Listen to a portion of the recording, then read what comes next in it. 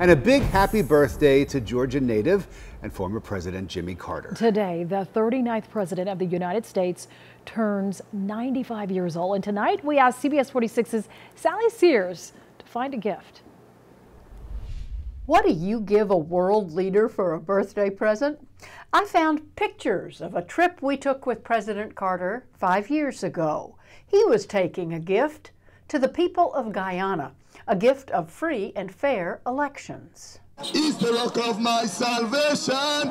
A street preacher captured the pre election mood in 2015 as former U.S. President Jimmy Carter arrived to monitor his 100th international election. In a market near the Capitol, you could feel pent up discontent. Corruption, murder, and we need that change.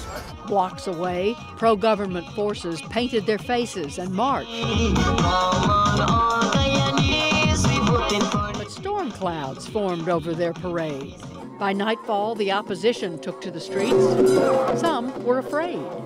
You have to be scared because uh, there's a lot of it men will come and shoot you down, so that you have to be scared. Into this tropical stew flew Jimmy Carter, blue jeans, a world famous smile. He changed clothes and posed for pictures, and posed, and posed, and started meeting in private. He knows Guyana since first monitoring a contentious election here in 1992. The incumbent leaders were very reluctant to see the Carter Center come in. He flew into a riot, the most threatened physically, he says, he's ever been in his life. Riots were all over Georgetown, and several people had already been killed. Buildings were being burned, and the election central headquarters was being attacked. President Carter and the election computers he protected were saved by police, but only after a call from the White House. So, why do corrupt leaders allow him in?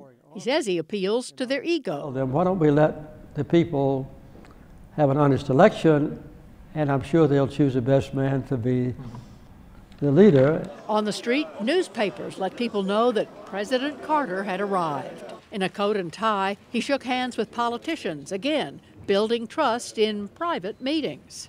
Later, back in Atlanta, President Carter took a measure of joy from his involvement. Well, it's a very gratifying thing, particularly when the people begin to see for the first time in their lives that they can actually have some control over who is their leader.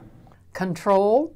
Once again, the world watched as the people of Guyana in 2015 voted out their incumbent president. And President Jimmy Carter himself remembers how that feels. Nevertheless, after he left office in America, he took that gift of free and fair election monitoring across the world.